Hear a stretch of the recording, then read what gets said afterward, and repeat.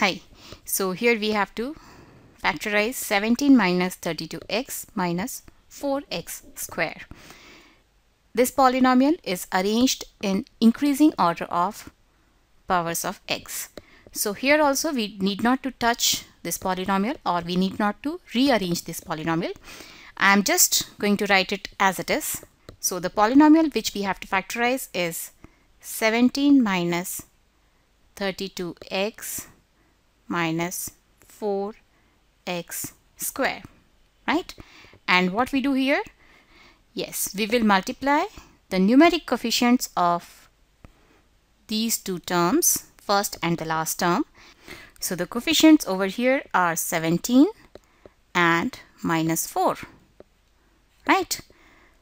4 sevens are 28 so 8 will be written over here. 2 is carried forward 4 ones are 4 plus 2 is 6 and this 4 is negative. So the product of 17 and minus 4 will be actually minus 68 right?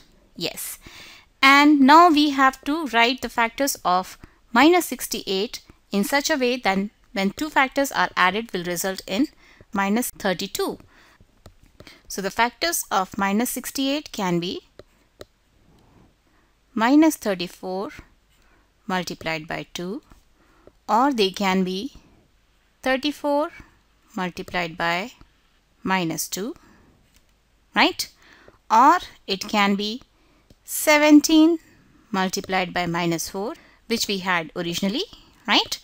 Or it can be minus 17 multiplied by 4 but here in first place itself we have got a set of factors which when added will result in minus 32. So let's use them directly.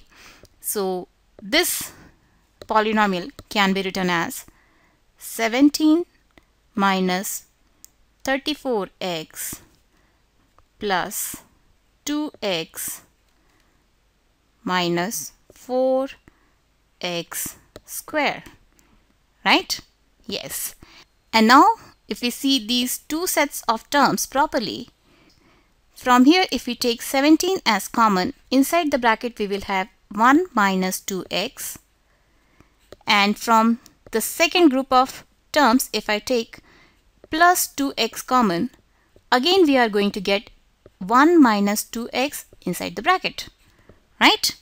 And now we have two terms and in both of them we have 1 minus 2x as common factor. So let's take this 1 minus 2x common. And then inside the bracket we will have this 17 and this 2x which is positive. Right?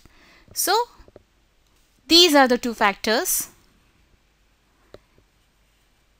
in which 17 minus 32x minus 4x square can be converted